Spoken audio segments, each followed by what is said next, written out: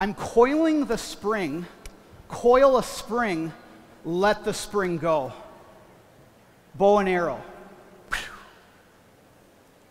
I'm drawing, the backup is getting him to sit back, use his body coil, and from there,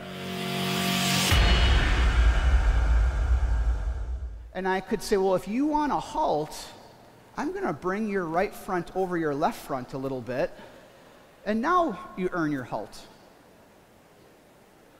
And some of you, you want to work on backing up, and so maybe you're working your horse and you're moving him out a little bit.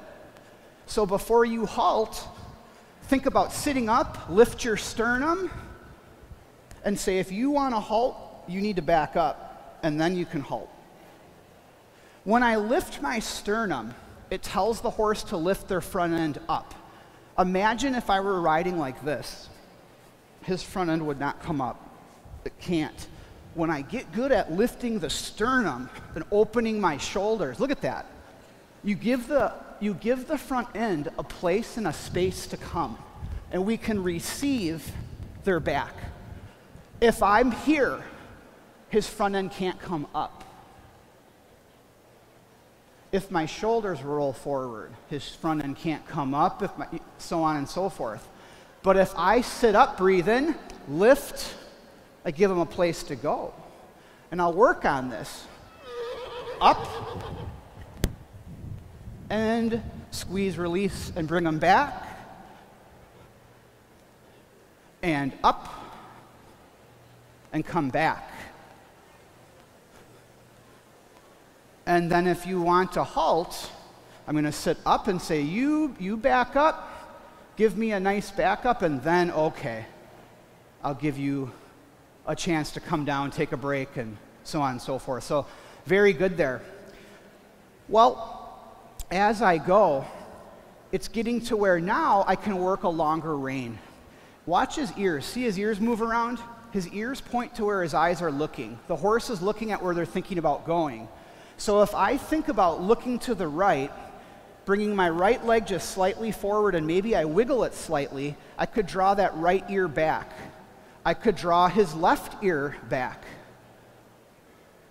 And if I can get him to look to the left and think left, he'd go left. So I just take my headlight and I shine it. So I might wiggle my right leg, get him thinking about the right, give the right ear back, right eye back, and now I ride his outside shoulder around. I'm going to get him looking, see that left ear? I'm going to get him looking left, thinking left, headlight, take him. Take him that way. Now, when the head bobs down right, it goes down to the right, up, down to the right, up, down to the right, up. You can see it. When it goes down to the right, his left front leg's ready to come over. In other words, the horse tells us their head nods down to the left when he's ready to bring his right front leg over. Turn to the right, turn to the right, or left, turn to the left, right front, turning left, left. I'm exaggerating, left, see? And so I think about turning and giving.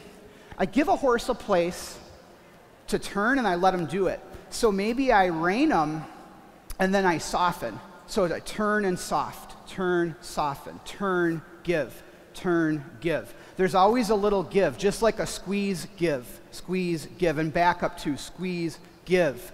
The give, the soften, that is where your horse can do it. The hold, if you hold, he can't do it. If you hold, he's got to brace back. If, if you're on a horse and I push on you and you're leaning over, you're not going to fall off, you're going to push back. So it's the giving where he can do it. So it's like I ask, soften, ask, soften, ask, soften, right?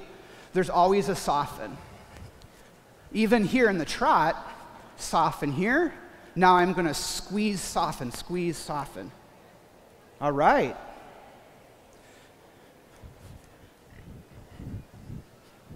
Here we go. When the head comes up, I can squeeze the rein to slow him down. Ready?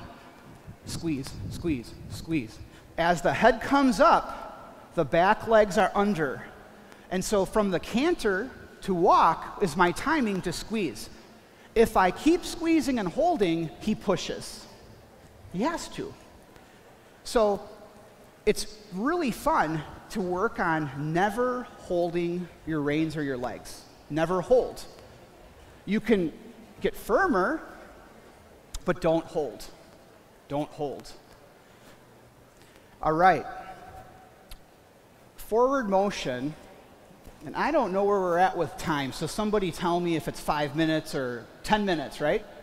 10 minutes. So, for those of you that want to get your horse more forward, do you ever have forward problems or do you ever see forward problems with your students?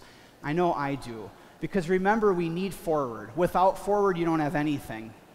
I'll show you a little exercise we can do with our horses. And what I would do, I would recommend that you get centered up and that you're, you know you're in position and that you're not sitting crooked, and, and that's really important so that your horse can do it physically. But what I'm going to do is I'm going to work on just sitting up and bringing my life up and getting his life up and getting down to those feet, and I'll back him, and then I'll sit up and swing my seat forward and see if I can bring them out. I'm coiling the spring, coil a spring, let the spring go. Bow and arrow. I'm drawing, the backup is getting him to sit back, use his body coil, and from there we go. So I'll work on that with horses and students, just simple backup. And then I'll say, sit up and trot ahead. And then I'll say, now bring them back. Slow and easy. And bring them back. And we coil, or we pull the bow back. And you could even bring the shoulder through, and then you could go if you're doing like cattle work.